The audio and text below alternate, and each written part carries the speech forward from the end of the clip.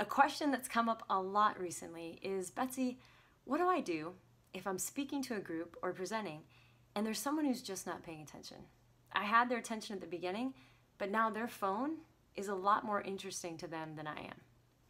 There's a couple things you could do. Number one, you could throw something at them. Typically not advisable, but I've seen it work. Technique number two, you could call them out directly. Depending on who the individual is, though, sometimes not advisable. Today's active communication technique is something that I like to call the noisy neighbor, and it works like this. Let's say I'm in a group of five people, and this little piggy right here is the one whose attention I had, and then they start to play on their phone.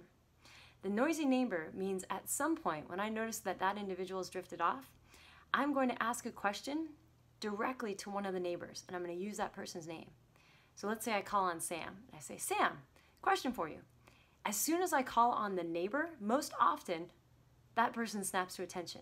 And they're like, oh, shoot, she almost got me. That could have been me. And then you have their attention.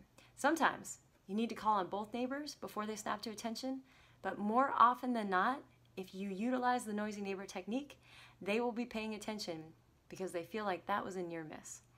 I've seen this work in business settings, I've seen it work for coaches, I've seen it work for teachers, but I'd love to know how it works for you. Give it a try, let me know, and thanks for watching. I'll see you next time for Act 28.